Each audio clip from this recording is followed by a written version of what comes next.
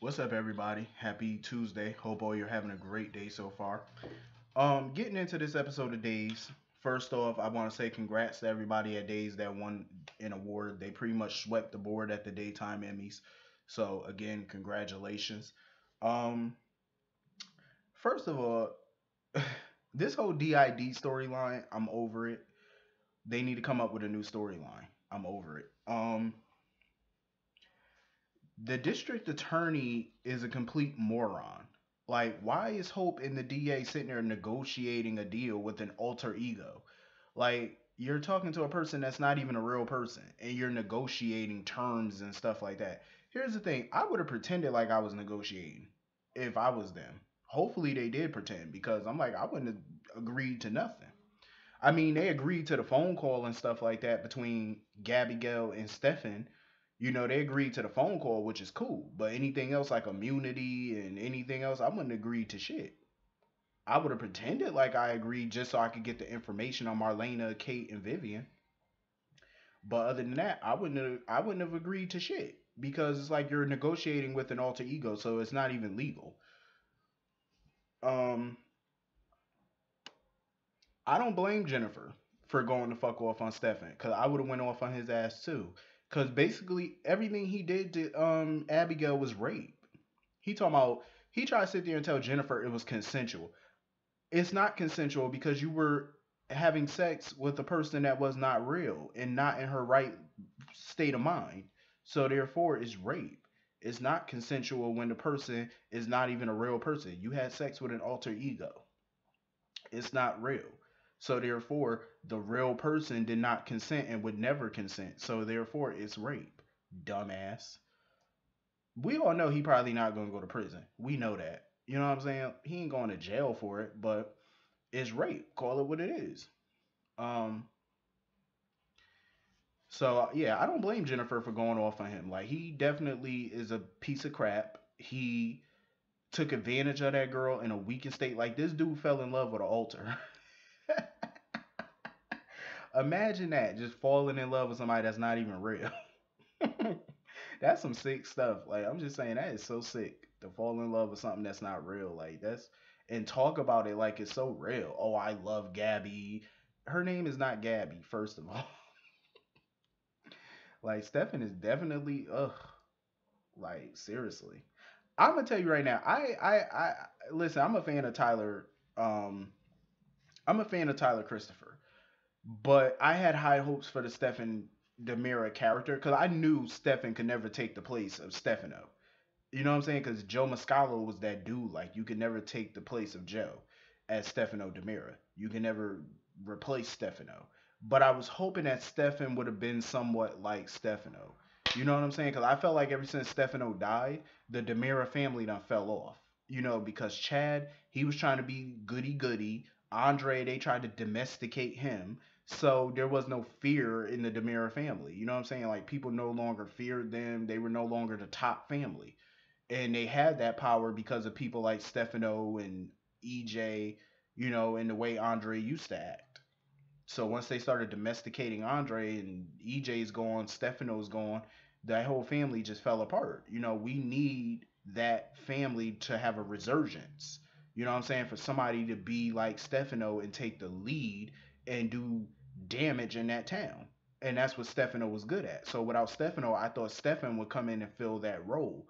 You know, be the powerful patriarch of that family. You know what I'm saying? Because like I said, Chad was too goody goody. Now Andre's gone, so we need somebody to step up. And Stefan, I was hoping was that dude. You know, Steve and all them felt like Stefan was trying to take off where you know, pick up where Stefano left off, as far as tormenting people and stuff like that. Um, because he does have a sick obsession with Abigail, just like Stefano had an obsession with Marlena. You know, Marlena was always his queen of the night. Um, so I think they're sticking to that similarity, but it's in a sicker way with Stefan though. Like the whole rape thing of an alter and all that, like that's way sicker. Um, I feel bad for Steve though. You know, going through this blindness and stuff like that. You know, it's hard. Like I can never imagine myself losing my sight you know what I'm saying? I can't imagine how I would get around without my vision. You know what I'm saying? And then you would pretty much have to lean on everybody to do things that you can't do for yourself without your vision. You know what I'm saying? And I do think in real life, I do feel like people do take everything for granted that they have. And that's including body parts and stuff like that. You know, your eyesight, your hearing. People take a lot of that stuff for granted. And it's people out here that really can't, you know, that don't have their eyesight, that don't have their hearing, that don't even have their legs. Some people that don't even have arms because they had to have them amputated or whatever the case may be because of a disease that they were born with. So a lot of people do take things for granted. You know what I'm saying? When you see storylines like this where people go through blindness or you even see somebody in real life that's blind, it puts things in perspective for you. You know what I'm saying? To appreciate what you got. You know what I'm saying? And and you know, like I said, I feel bad for Steve, you know, to even be going through that stuff, you know and that's the reason why he's still trying to act so tough and stuff like that because he doesn't want to be a burden to Kayla.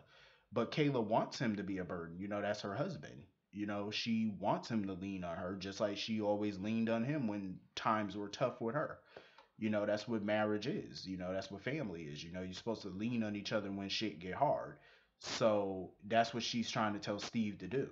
You know, lean on her. You know, be her. You know, she wants to be his rock just like he's her rock you know? And i and i love that. I love that relationship between steve and kayla. And that's why i love the vets on these shows because the vets have been around so long and they got so much love for each other. It's like when you see that on camera it makes it, it makes you see why they are who they are and why they are veterans of this genre because of that realness that they come off in scenes. It's maturity. It's none of that childish shit that you see with Ciara and the younger generation. You know what I'm saying? With the older people, they did their childish shit years ago. So they're more mature now than they were 30 years ago. Because trust me, Steve and Kayla wasn't always mature. They used to have their childish shit too back in the day. They used to be childish and petty. And that's any I think that's like a lot of generations though. You know, when you're young, you're you're petty, you're childish, but when you get older though, you you mature, you know, you mature a lot more. And that's what I love about these older relationships. Um so anyway, this whole this it's just this whole damn DID situation like it, it's becoming a hot ass mess. Like I'm not like I said, I'm not a big fan of the whole DID storyline because I've seen it so many times you know, Ron Carlivati always does DID storylines on whatever show he goes on. So I'm accustomed to seeing it. And I knew I was going to get a DID story with him coming on the show. I knew it. I was like, watch, he's going to do a DID. And of course he did. Um, I'm just not a fan of it though, cause I just seen it too much. So I'm like, I'm ready for something different with him. You know what I'm saying? The other storylines he's doing, I like. It's just this whole DID joint. It's like I'm over it. Kate, Marlena, and Vivian. I could never, I'm just saying I could fucking never. Let me tell you something. With Vivian, I can never be trapped in a room with her. I'm just saying I'd be ready to choke her. like just being in a room with her, like, and then they were in that room for days, like with no bathroom, no food, no change of clothes, no water. I'm like, I know they stink. I know they stink. They hungry. I'm surprised they didn't urinate on themselves. Like, how are y'all just in this room with nothing except a bottle of champagne? and they was up in there getting toasted. I would have been too though. If I'm trapped in a room and I ain't got nothing but a bottle of alcohol, fuck it, I'm drinking. If I'm gonna die, I'm gonna die drunk. fuck it. You know what I'm saying? Like that's how I would be. Like if I'm in a in a room and I'm got liquor, I'm I'm going out with a bang. I'm gonna be drunk. I'm gonna be lit tea. I'm just saying, like, ain't no way I'm gonna be up in there sober, especially with somebody I don't like, who's very annoying and their voice is annoying. So yeah, I, I have to be drunk. Um, so Vivian started telling Kate how Andre betrayed her, how him, how Andre and Vivian were working together for a year, trying to sabotage DiMera so that way they could take over and reap the financial benefits. Of course, Kate didn't want to believe her, but it is the truth. Andre was working with Vivian for a time. Um, but of course, Kate didn't want to believe it. I truly believe Andre did love Kate, and you could see that. Like Andre grown, he grew to love Kate. You know, and I think he felt guilty about lying to her, and he felt guilty about betraying her. But at the end of the day, was Andre gonna stop trying to do it? No. He he was about Andre was about his money. Andre ain't give a fuck. He loved Kate, but he loved money just as much.